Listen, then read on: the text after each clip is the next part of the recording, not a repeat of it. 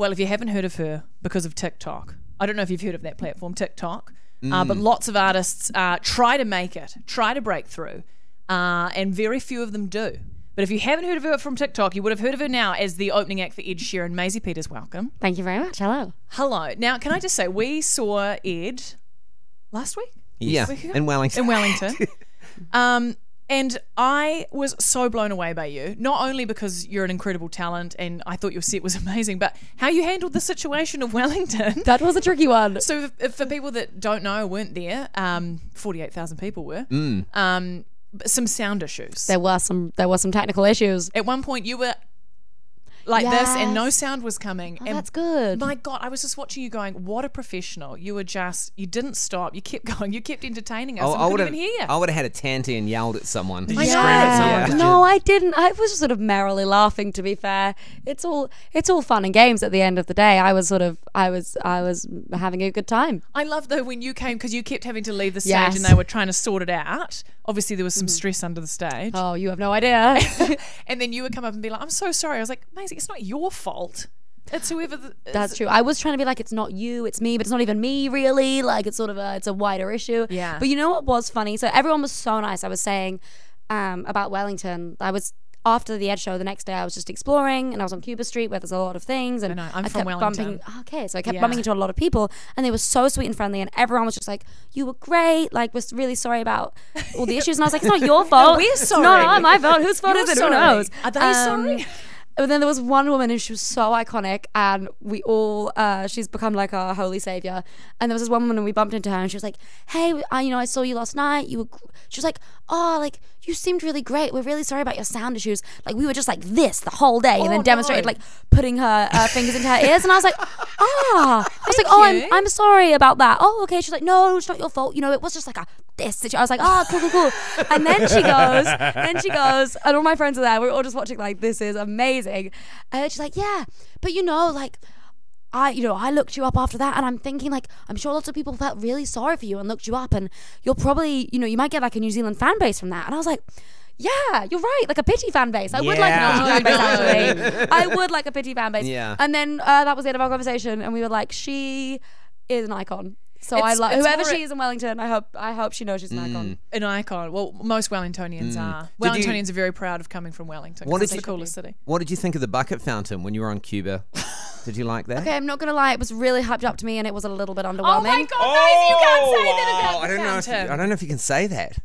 But I mean, like, it was really nice still. But did you get the big buckets at the bottom because they really surprise you and have a lot of water in them? I can feel your well, tone. yeah, no, I love the. I love the big buckets and the small buckets. Okay. uh, and I, but you, you know what? I'm that. I'm saying a lot of things right now because I'm saying all of this, and I did go back to the bucket fountain like three times. So you go. oh wow! you know what? I'm sure it, it captured me in ways I can't even express Okay. or understand. But did you go back three times because you're like, no, they, they did say it was good, and I haven't seen the good yet, so I'm gonna give it another chance. or did I just go back because the street is like not that long, so Yeah, I just you sort of walk ended back up and back past it. there? Yeah, Yeah, yeah, yeah, yeah. But All all, of roads. those reasons, it could be any of them. Now, uh, you spoke about having to go off stage and go underneath the stage, and people uh, in Wellington would have seen the incredible setup that Ed Sheeran has. Oh my God, It's a amazing. circular stage in the middle of the field. Uh, it rotates, it goes up and down. Um, what what's underneath there? Oh, s- I can't tell you. It's a Oh my god, I knew it was going to be a secret. It's really wild though. Is it is it like Yeah. There's, there's moving parts. Is there very much like don't put your fingers in there? Yeah, sort of circus vibes. Yeah. yeah, Like, yeah, yeah, yeah, yeah, behind the yeah, yeah. scenes Like dangers. lions, monkeys, kind of Lions, things. Yeah, yeah. Can we uh, take a step back because I don't know if this is maybe this is insulting, but I feel like I love that as an I intro don't- to a sentence. I don't know. Maybe maybe this this is will insulting, insult but you. mhm. No, but I feel like, you know, on TikTok, it's such an incredible uh, platform at the moment. And, and a lot of people are putting out a lot of stuff. And I'm always like, ah, you know, like it, there's such quick access to an audience that sort of uh, a lot of faff can come through. And then that's the insulting Okay, bit. are we getting Okay. there? The Now, is this a better or worse than the woman who put her fingers in her ears? Uh, you know And what? said it was- wait, it was wait, just wait, a it's little- second part, undetermined wait for It's undetermined. Okay, she wants to be an icon. watching you come from that platform to seeing you live, I was just like, you're the real deal. I feel like there's a lot, of, you know, like sometimes people can kind of fake it on TikTok or mm. you know use this sort of, but you can really freaking sing. Thank you. I appreciate like that. so amazingly. How does it feel now that you're Not like, according to the woman in Wellington. That's the thing. I did not think the same thing. the one yes. woman. How do you feel like coming from? I mean, because you started busking, I did. then you moved on to online. Now you're playing to like tens of thousands of people around the world with one of the biggest stars in the Mm. world, Ed Sheeran. How do you feel? Are you shocked? Are you in a whirlwind, or are you like, mm-hmm, yes, this feels right because I'm extremely talented? Um, I think that I like to just sort of not think too much Mm. because you just sort of take each day as it comes and you just sort of try your best and um, yeah, do like as best as I can with the amazing opportunities that are that I'm Go with that it. I'm achieving uh, that I'm receiving.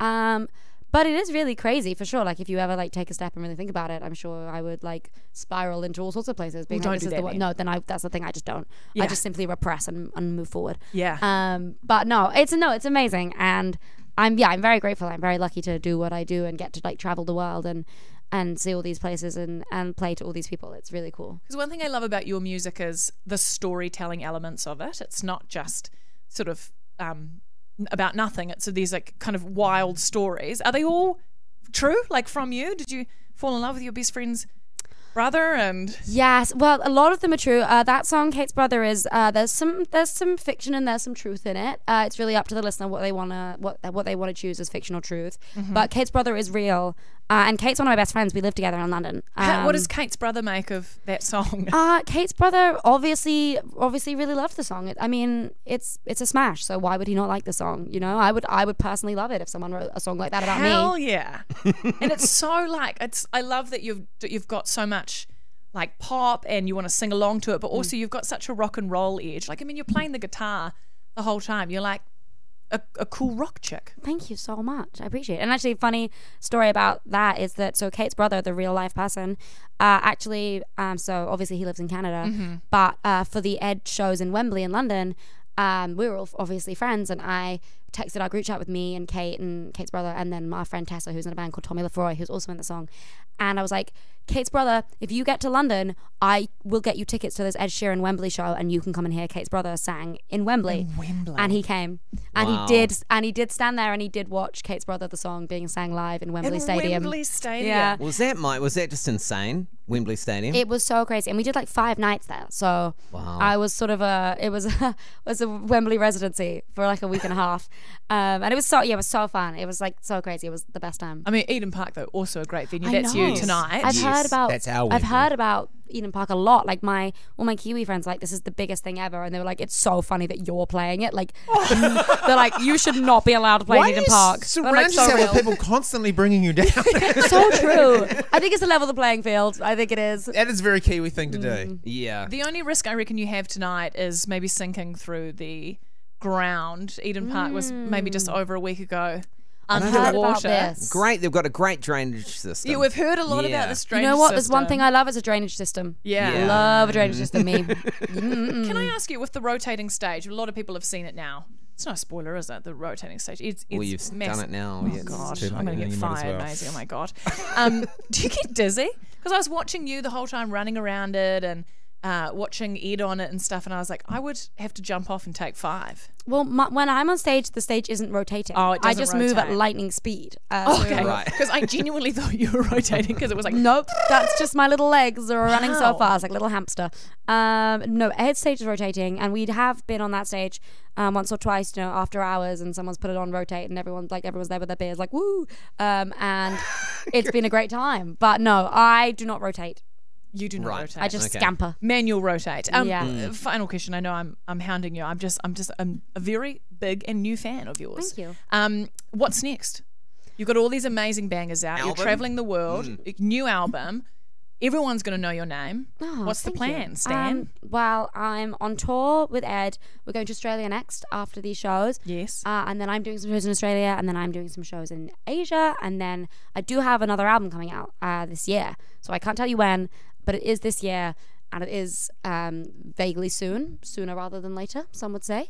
Uh, I'm loving yeah. watching this tiptoeing Yeah. of information you can't tell I, us. the thing is, is I have such a huge, huge, huge mouth, and I would tell you everything. And Yeah. I, I'm very conscious when I'm doing all these um, interviews to be like, "Don't." You know that meme of Kermit in like the, the cloak being like, "Don't." Yes. That's how I feel. Me to me. So more music and hopefully some more touring. We get to see you again, chat to you again, and follow you that. along on this amazing journey. I would love that. I'm very uh, keen to come back. So hopefully, Well, well, they won't want you back in Wellington after what you said about the fountain. You've absolutely dissed the fountain. guys, there's I didn't diss the fountain. I have had to, to be Wellington. honest. I I assume like all interviews are, are sort of like the you know the justice system where you have to tell the truth. Yeah, but Yeah. Um, so do- I just I had to tell the truth. yeah. On behalf of Wellington, we're quite upset with you, Maisie. But um, I hate this narrative. I want no part in this narrative. I want to. I want to take it all back and say I No, love like, the the, damage bucket done, I love the bucket fountain. Well, damage maybe- is done. I love that. Well, maybe you could call the new album Bucket Fountain. That's an idea. Songs from a bucket fountain. I love ideas. Yeah. And It you is should an keep idea. having them, my It's an- friend. just an idea. you keep that one, and you really I ruminate reckon on it. pocket that. That's just for you. Yeah, yeah, yeah. You Wellington's upset, but the um, Maisie Peters pity party, Yes. we're, we're stoked you're back. Thank Full you force. so Yeah. much. Yeah, yeah, Thank you yeah. so much. It Yeah. runs on pure pity alone. Yeah, yeah. Uh, there's no respect for talent. Uh, No, no, we just feel really sorry it's for just you. pure pity. and That's what I love. Doesn't matter. Uh, Maisie Peters, thank you so much for joining us. Thank you for having me.